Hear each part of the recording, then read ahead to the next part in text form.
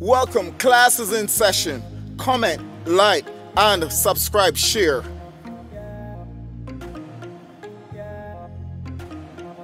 Welcome to the first of our music production. Now tell me, what is the most important tool that you would use for your music production? Is it a compressor? Is it a delay? Is it a reverb machine? Is it a plugin? Is it a DAW? Is it a SSL? Is it a Neve API? Is it a 1073? Tell me, what is your important tool, your go-to tool? For me, my go-to tool is a pen and paper.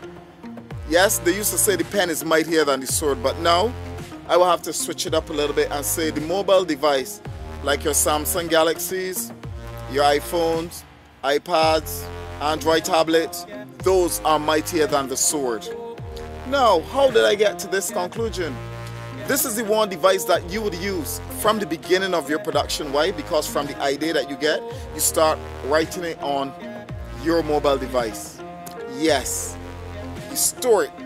Then you take it to the next level and you start to break it down and you do all your planning on that mobile device. And that device will take you from the beginning of the production to the end of the production and beyond. So, why do I say that the mobile device is mightier than the SSL, the Neve, the API, and even the other delays, Shadow Hills, Manleys, etc., Pultec, whatever piece of gear you might think of, let me explain this here to you. In also planning your music production, that will dictate which studio you use, the type of musicians and also artists that you would like to work with, and would also determine the style of what music you are producing, whether it's for a theater, whether it's for a film, whether it's for listening pleasure, like for audiophiles, or is it for a party? All of this planning will be going into your mobile device.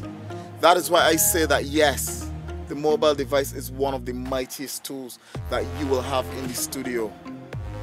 Let alone, it also controls the DAWs, but that's for a later day.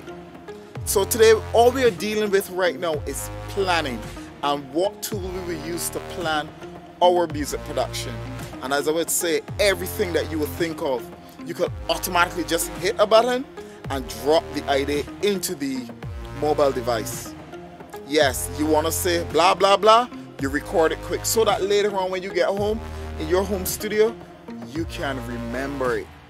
That is why I like it, and that is why I think that that is the most important tool that you would use in your whole production. So, let me know what is your favorite tool for your music production and how you get your idea and how you plan also your music production. I am DJ Sound Expression and class is in session. Comment, like, and subscribe, share.